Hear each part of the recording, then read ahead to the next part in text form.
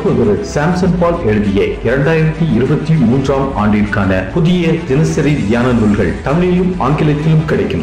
கர்த்தருடைய நாமம் மகிமைப்படுவதாக உங்களை மகிழ்ச்சியோடு வாழ்த்துகிறேன். கர்த்தர் உங்களோடு உங்களை ஆசீர்வதிப்பாராக. சீர்வருவோம் சிகரம் தொடுவோம். அதிகாலையில் ஜெபம் பண்ணுறது ஒரு நல்ல பழக்கம்.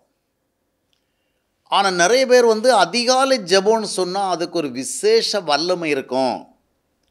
நம்ம மற்ற நேரங்களில் ஜெபிக்கிறது மாதிரிலாம் அதிகாலையில் ஜெபம் பண்ணால் ஆண்டவர் அதை ஸ்பெஷலாக கேட்பார் அதிகாலையில் ஒரு ஜெபம் பண்ணால் அது நமக்கு நிறைய ஆசீர்வாதங்களை கொண்டு வரும் அந்த மாதிரி ஒரு விதமான ஒரு சென்டிமெண்ட் வச்சுருப்பாங்க. அதிகாலை ஜெபம் ஏன் ஆசீர்வாதமாக இருக்குன்னு சொன்னால் அதிகாலை பண்ண ஜெபத்துக்கு ஆண்டவர் அதிக கவனம் செலுத்துகிறார் என்பதல்ல. அதிகாலையில் ஆண்டவருடைய சமூகத்தை தேடுவதற்கு நமக்கு அதற்கேற்ற விதமான ஒரு மன சூழல் இருக்கும் சரீர சூழல் இருக்கும் வாழ்க்கை சூழல் இருக்கும். ஒவ்வொரு நாளையும் துவங்கி நம்ம பலவிதமான வாழ்க்கை சூழலுக்கு சென்ற பிறகு அந்த மனதை கொண்டு ஆண்டவருடைய சமூகத்தில் ஜெபிக்க செல்கிற பொழுது அந்த காலை வேளையில் இருந்த விதமாக நம்முடைய மனநிலைகள் இராது. அதனால தான் முதலாவது நம்ம வேறு எந்த வேலைகளும் தொடங்குறதுக்கு முன்னாடி தொழில் தொடங்குறதுக்கு முன்னாடி குடும்ப அலுவல்கள் தொடங்குறதுக்கு முன்னாடி நிறைய நிறைய பிரச்சனைகளுக்குள்ளே போகிறதுக்கு முன்னாடி ஆண்டவருடைய சமூகத்தில் நம்முடைய இருதயத்தை கொண்டு போய் நம்முடைய இருதயத்தை சீர்படுத்தி அந்த நாளை சந்திப்பதற்கு தேவையான கிருவைகளை பெற்றுக்கொள்ளணும். இந்த காலை வேலை வந்து நமக்கு நிறைய டிஸ்டர்பன்ஸ் இல்லாமல் இருக்கும். மனங்கூட மனவியல் விதிப்படி அதிகால வேலைகளில் ஒரு குறிப்பிட்ட விதமாக தெளிவாக இருக்கும் ஒரு குறிப்பிட்ட விதமாக சரியான சிந்தனைக்குள்ளே போகிற விதமாக இருக்கும் ஃப்ரெஷ் மைண்டுன்னு சொல்லுவாங்க அந்த மாதிரி இருக்கும். இது மனைவியல் படி இப்படி இருக்குது. அதனால் அந்த நேரத்தை நாம் வந்து பயன்படுத்திக்கணும். அதுதான் ஆசீர்வாதம். மற்றபடி ஏதோ நம்ம அதிகாலையில் ஜெபம் பண்ணால் அதற்கென்று தேவன் ஒரு தனியாக விசேஷமான ஆசீர்வாதத்தை வைத்திருக்கிறார். அப்படிங்கிறவள நாம் அந்த நேரத்துக்கு முக்கியத்துவம் கொடுத்துட்டோம்.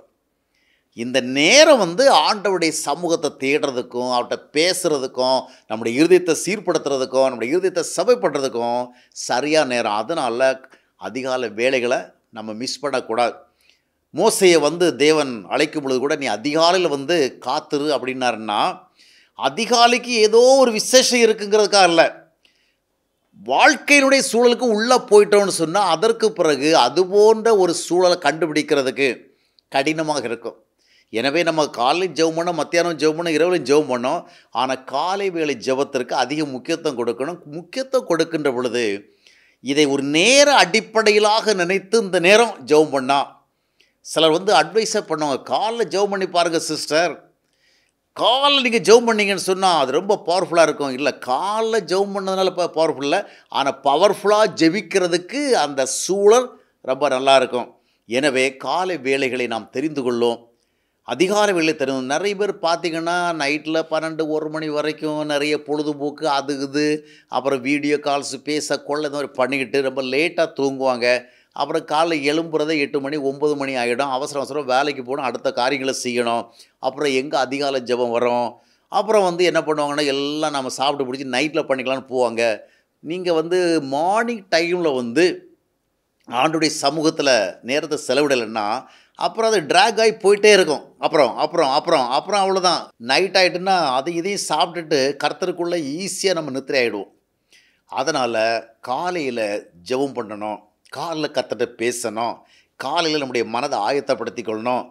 அதிகால நேரங்களில் வேறு புற விதமான நிறைய காரியங்கள் வந்து நம்ம அழுத்துறதுக்கு முன்னாடி கத்திரை சமூகத்தில் வந்து நம்ம ஜெபித்து பலப்படுத்தி திறப்படுத்தி கொண்டு ஒரு போர் வீர நல்ல ஒரு பயிற்சியோட நல்ல ஒரு வலிமையோட யுத்தகலத்துக்கு சொல்கிறது போல நாம் இந்த உலகத்துக்குள்ளே சொல்ல வேண்டும். அதை ஆசீர்வாதம். மற்றபடி காலை வேளை ஜபத்திற்கு ஆண்டவர் தனியாக வந்து விசேஷ ஆசீர்வாதம் அந்த நேரம் சார்ந்த சிந்தனை சரியானது அல்ல என்பதை நாம் மனதில் வைத்துக்கொள்ள வேண்டும்.